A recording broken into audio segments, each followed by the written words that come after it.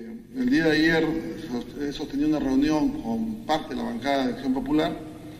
y estamos presentando en la presente semana una fórmula legal de una ley de reforma del artículo 130 de la Constitución Política para suprimir la cuestión de confianza que debe plantear el Consejo de Ministros cuando inicia su gestión, para evitar que estas situaciones den como consecuencia los hechos que han acontecido este, este mes pasado. Entonces, en consecuencia, creo que hay toda una intención por parte de las nueve bancadas de que estas reformas políticas se puedan dar en el momento adecuado. Y nuevamente eh, asumir el compromiso, estando aquí con el presidente Álvaro Paz de la Barra, presidente Lampe, estas iniciativas legislativas que realmente configuran el fortalecimiento de la descentralización. Una descentralización que quizás todos hubiésemos querido que hubiese funcionado mejor, pero que tiene serias debilidades y que esto pone al descubierto cuando tienes un presidente visionario. Muy bien lo decía el presidente Lampe, este impuesto al rodaje que fue eh, instalado en el año 1984. Angélica, parte de esta conferencia de prensa, pero en otro extracto brindó más detalles sobre este proyecto de ley, pero también se refirió a lo que ocurrió ayer en este grupo de trabajo frustrado, en todo caso,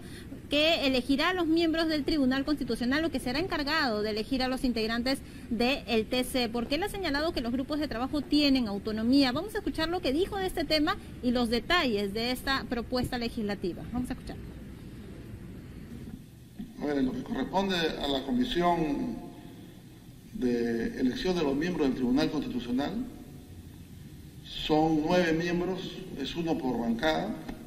ellos tienen la absoluta autonomía de poder elegir su directiva. Sé y tengo conocimiento que el día de ayer no han podido instalarse. Naturalmente así es la democracia. La democracia tiene sus debates internos y creo que eso es lo mejor, eso es una muestra de que aquí no hay nada que esté, mm, digamos, amarrado o que esté, se esté pretendiendo controlar de alguna parte del Parlamento.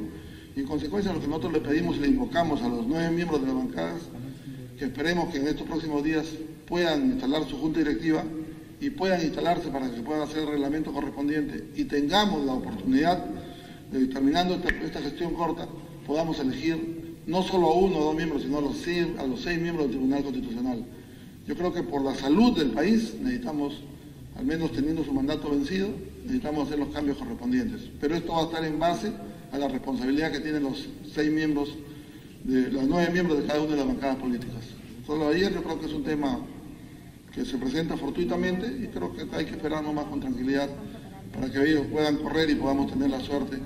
de poder tener esos 88 votos y hacer los cambios de esos miembros del Tribunal Constitucional. La siguiente pregunta, presidente, era sobre eh, si podía especificar un poco más el tema de la modificatoria del artículo 130 que usted ha anunciado. Ah, el proyecto de ley, el significado que tiene es de que está, la Constitución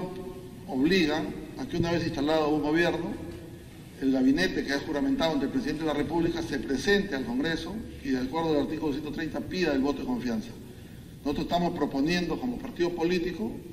que esta, digamos, esta, esta reforma constitucional, el simple hecho de que el presidente le esté dando la confianza, creo que es la absoluta responsabilidad del presidente. Y no debería ir al Parlamento a un tema, digamos, de darle la confianza, sino al contrario, deberíamos establecer la metodología de poder a los 30 días tener al gabinete en la estación de preguntas que cada uno podría formular de 230 parlamentarios con tiempos limitados y que esto permita ver realmente cuál es la posición de ese nuevo gabinete y cuáles son las fórmulas que se van a establecer en la gobernanza de ese nuevo gobierno, que en este caso dio como consecuencia el haberle negado la confianza al gabinete cateriano. Para evitar eso, esto ya ha estado en la constitución del año 79, y fue establecida esta modificación, entonces creemos que debemos volver a como estuvo la Constitución del año 1979. el presidente, adelante por favor. Dos temas que, o un tema puntual que no ha sido preguntado por ningún presidente Vizcarra, en el 199 aniversario de vida institucional del Ejército, anunció una partida de 500 millones para invertir en el Fuerte Rimac y en Cipán de la Mayeque. Creo que nos hubiese gustado haberlo escuchado al presidente haberse comprometido siquiera con 25 plantas de oxígeno para las 25 regiones del país. Y eso sí creo que es una preocupación